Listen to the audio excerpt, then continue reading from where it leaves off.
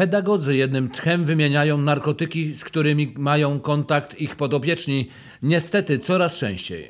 marihuana, e, haszysz, amfetamina, e, krak. W 2010 roku zlikwidowano sklepy z dopalaczami, co nie oznacza, że nie można ich kupić w narkotykowym podziemiu.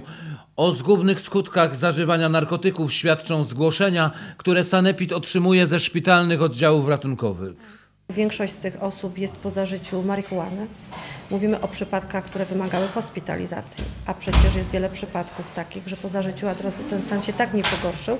E, Wskazuje to jednak na to, że te substancje są używane. Najmłodsza osoba, która była hospitalizowana ma 14 lat. Wśród statystyk dominują chłopcy i mężczyźni.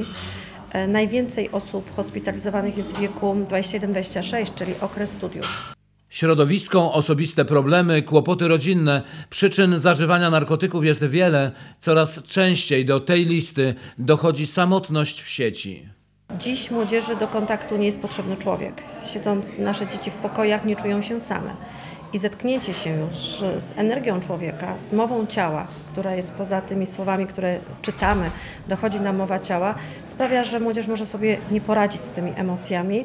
Pedagodzy robią co mogą, aby przekonać uczniów, że każdy, nawet incydentalny kontakt z narkotykami może przerodzić się w zgubny nauk.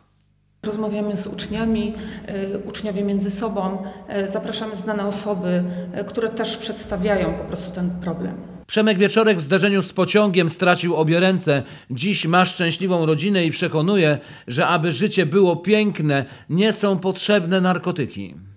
Piękność życia polega na tym, że pojawiają się trudności, a my te trudności pokonujemy i uświadamy, uświadamiamy sobie wtedy swój potencjał, jaki mamy.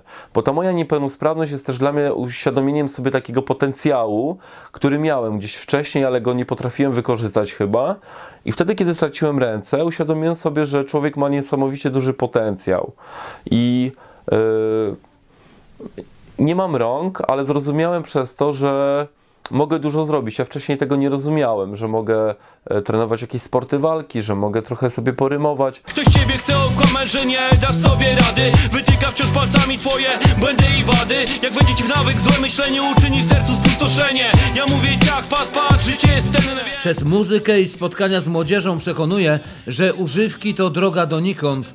Alternatywą może być sport, który czynnie uprawia. Jest pierwszym polskim medalistą w paratekwondo olimpijskim.